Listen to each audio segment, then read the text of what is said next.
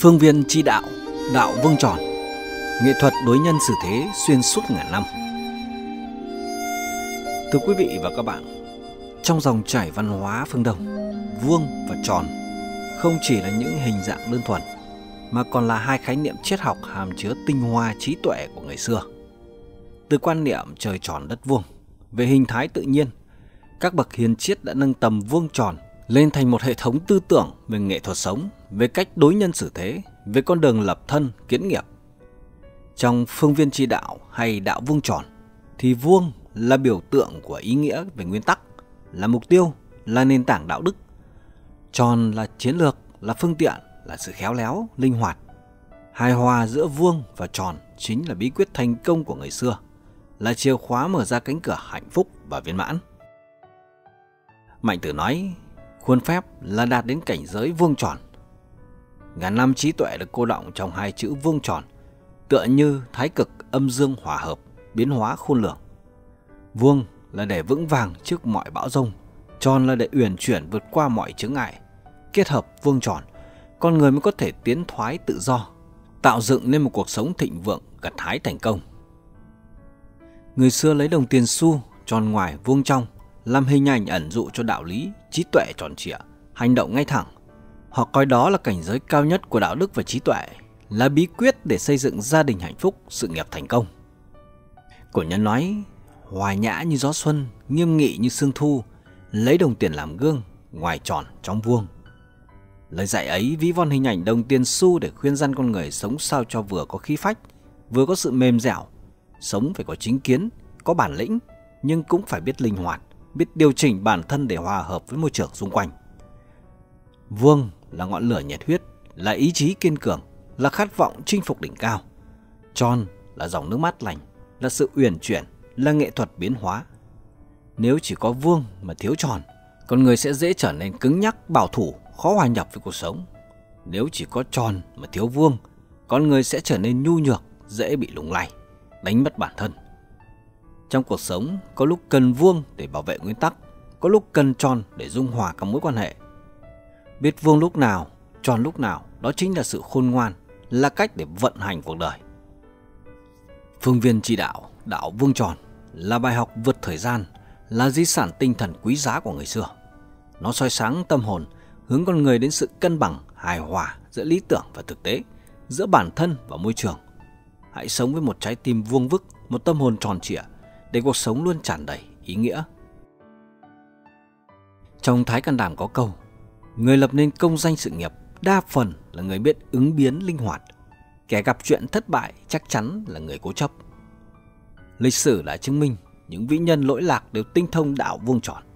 Họ vừa kiên định với lý tưởng, vừa biết linh hoạt thích ứng với hoàn cảnh, như con thuyền vừa có mỏ neo vững chắc, vừa có bánh lái linh hoạt để vượt qua sóng gió đại dương. Đức Khổng Tử cũng từng dạy, Người có chí hướng học tập chưa chắc đã thành công. Người thành công chưa chắc đã làm việc gì cũng đúng đắn. Người làm việc gì cũng đúng đắn chưa chắc đã biết linh hoạt ứng biến. Lời nói của bậc thánh nhân đã khẳng định tầm quan trọng của sự kết hợp giữa vuông và tròn. Trên con đường thành công, chỉ có vuông mà thiếu tròn, con người rất dễ trở nên cứng nhắc bảo thủ, như cây đại thụ khô cằn, dễ gãy đổ trước dòng bão. Chỉ có tròn mà thiếu vuông con người sẽ như con thuyền không bánh lái trôi giạt vô định giữa biển khơi. Tuy nhiên, đạo vuông tròn không phải là sự kết hợp tùy tiện mà phải có chừng mực, có độ. Quá vuông sẽ khiến con người trở nên cô lập, khó hòa nhập. Quá tròn sẽ khiến con người đánh mất chính mình trở nên giả dối. Chỉ khi biết cân bằng giữa vuông và tròn, biết vuông lúc nào, tròn lúc nào, con người mới có thể đạt đến sự viên mãn thành công trong cuộc sống. Như người nghệ sĩ tài ba điều khiển cây đàn, khi du dương, khi mạnh mẽ, lúc trầm lúc bổng tạo nên bản nhạc tuyệt vời. Đạo vuông tròn chính là nghệ thuật sống, là bí quyết để chơi với cuộc đời, để biến cuộc sống thành một bản hòa ca tuyệt đẹp. Tròn trong ứng xử, vương trong lập thân. Chân lý xử thế vang vọng muôn đời của người xưa. Trong tư trị thông giám có chép lại câu chuyện như thế này. Sau khi công phá một thành trì, Ngụy Vương mở tiệc lớn khao thưởng quần thần. Giữa men say chiến thắng, nhà vua cất tiếng hỏi: các khanh cho rằng trẫm là minh quân hay hôn quân. Đám quần thần vốn quen xu nịnh, nghe vậy thì nhào tầng bốc. Bệ hạ là bậc minh quân tài ba. Ngụy Vương đắc ý, cho đến khi câu hỏi đến tai nhậm tọa, một vị quan cương trực, ông dõng dạc đáp, bệ hạ là hôn quân. Không khí yến tiệc bỗng chốc lặng ngắt, Ngụy Vương như bị dội một gáo nước lạnh, hỏi vặn lại, vì sao Khanh nói như vậy? Nhậm tọa thưa, bệ hạ chiếm được thành trì, lẽ ra phải ban thưởng cho em trai, nhưng lại ban cho con trai, đó chẳng phải là hành động của hôn quân hay sao? Ngụy Vương nghe thế liền nổi giận, ra lệnh lôi nhậm tọa ra ngoài, cho xử tội. Tiếp đó, nhà vua lại hỏi một vị quan khác. Vị này khôn khéo đáp, bệ hạ là minh quân. Ngụy Vương mừng rỡ vội hỏi, vì sao Khanh lại cho là như vậy? Vị quan tâu, thần nghe nói minh quân thường có trung thần, nay bệ hạ có nhậm tọa dám nói thẳng, chẳng phải là minh quân hay sao? Ngụy Vương nghe xong tỉnh ngộ, vội vàng cho người mời nhậm tọa trở lại. Câu chuyện trên cho ta thấy ba cách ứng xử khác nhau. Thứ nhất là kẻ su nịnh thì khéo léo nhưng thiếu khí phách. Nhậm tọa thì ngay thẳng nhưng cứng nhắc. Còn vị quan cuối cùng mới là người khéo léo và trí tuệ nhất. Ông vừa làm vui lòng nhà vua, vừa cứu được người, thể hiện trọn vẹn tinh thần, tròn ngoài, vuông trong. Người xưa nói, gặp thời thịnh trị nên vuông, gặp thời loạn lạc nên tròn, gặp thời suy vong nên kết hợp cả tròn lẫn vuông. Đối với người thiện thì nên khoan dung, với kẻ ác thì nên nghiêm khắc, với người thường nên dung hòa cả hai. Đó chính là đạo lý tròn vuông trong ứng xử. Vuông tròn dung hòa mới có thể tồn tại lâu dài trên thế gian. Vuông tựa như khối đá vững chãi, góc cạnh rõ ràng phần mình, tượng trưng cho người quân tử sống ngay thẳng, có chủ kiến, có nguyên tắc, không bị ngoại cảnh lay chuyển. Tròn lại ví như viên ngọc lăn mình theo dòng chảy, uyển chuyển linh hoạt, khéo léo ứng biến. Người khéo tròn là bậc thầy giao tiếp, biết tiến biết lui, nắm bắt thời cơ, vững vàng giữa dòng đời vạn biến. Vuông tròn chính là hai mặt của một triết lý sống uyển chuyển. Người chỉ biết vuông cứng nhắc, bảo thủ, e rằng sẽ va vấp tổn thương. Kẻ chỉ biết tròn, khéo léo quá, hóa giả dối, mưu mô quá, hóa cô độc. Chân lý nằm ở sự dung hòa, ngoài tròn và trong vuông.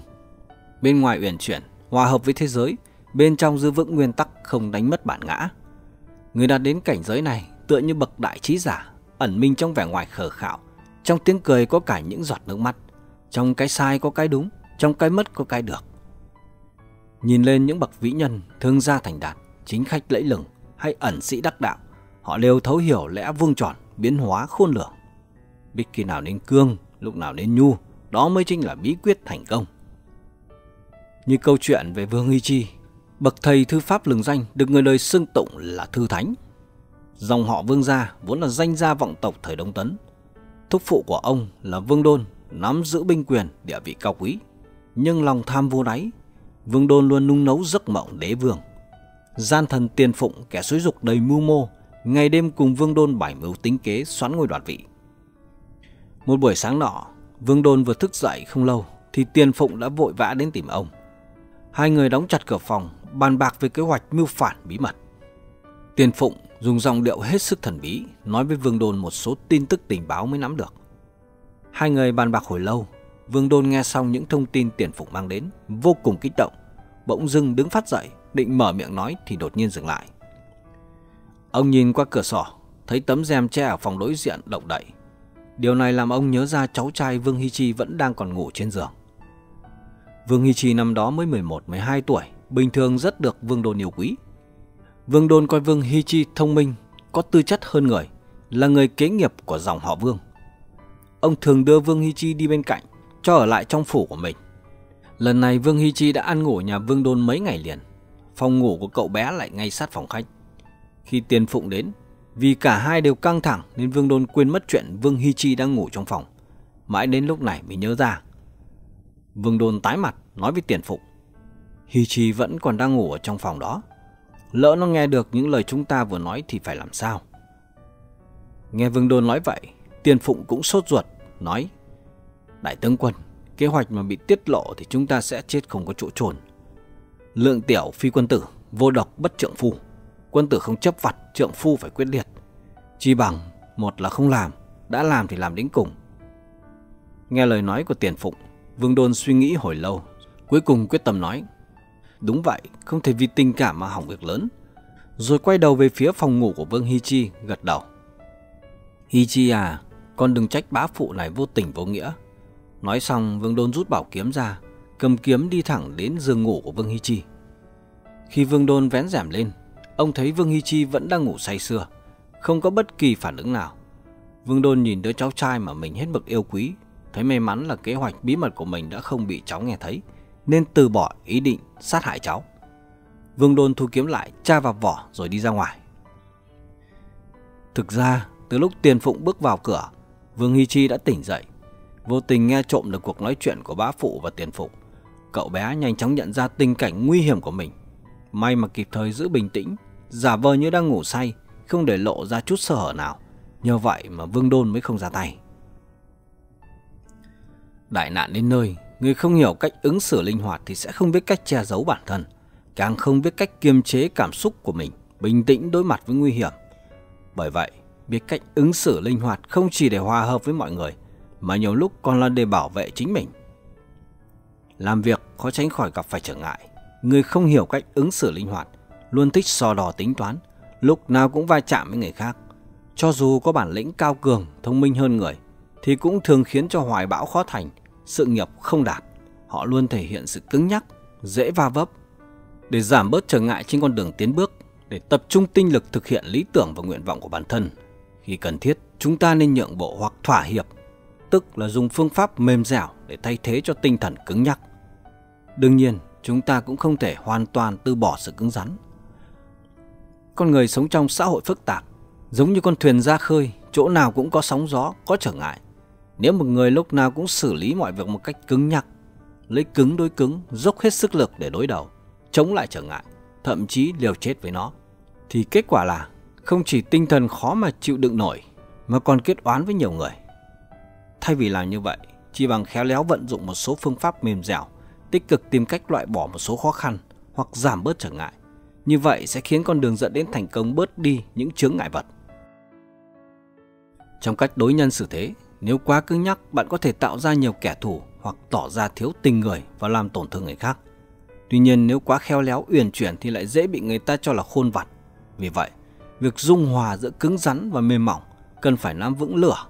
Đó chính là tinh túy của sự biến thông. Tự chung lại, dù kết hợp cứng mềm hay vuông tròn, đều phải nhớ rằng không có vuông thì không thành tròn. Cần kiên trì nguyên tắc ngay thẳng, chính trực trong khi ứng xử linh hoạt với mọi người. Biết biến thông trong cách làm người, làm việc đó mới chính là bí quyết để tồn tại và sống viên mãn thành công trọn đời. Chúng tôi xin kết thúc bài chia sẻ của mình tại đây. Mong rằng những chia sẻ về đạo vuông tròn hôm nay sẽ giúp ích cho quý vị trên con đường hoàn thiện bản thân. Hẹn gặp lại và quý vị trong chương trình bàn luận về đạo vuông tròn trong các số tiếp theo. Một lần nữa, xin kính chúc quý vị và các bạn cùng gia đình luôn luôn được hạnh phúc, thành công và bình an trong cuộc sống. Xin trân trọng kính chào và hẹn gặp lại.